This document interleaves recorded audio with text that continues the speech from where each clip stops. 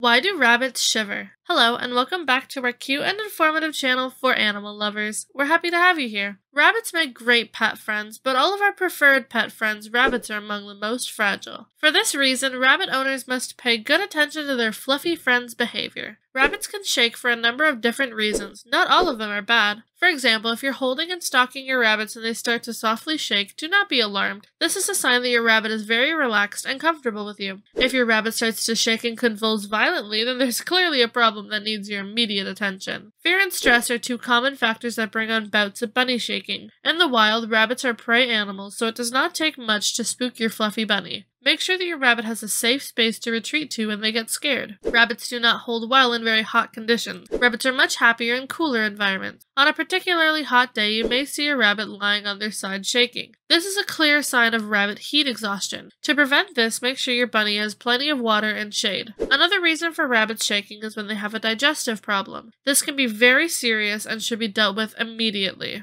If you like these kinds of practical videos that get right to the point and you want to keep learning more interesting animal facts, be sure to subscribe to the channel. Hit the like button to let us know you appreciate our hard work. Thanks. For any reason, if you find your rabbit behaving abnormally or seemingly in distress, then the first thing you should do is speak with your vet. Let us know in the comments if you've seen your rabbit shaking and what did you think was causing. it. That's all for now. Have an awesome day and see you in the next video.